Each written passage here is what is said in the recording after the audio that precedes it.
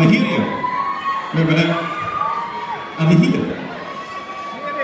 Typical, you know, teenagers. The problem, the phone.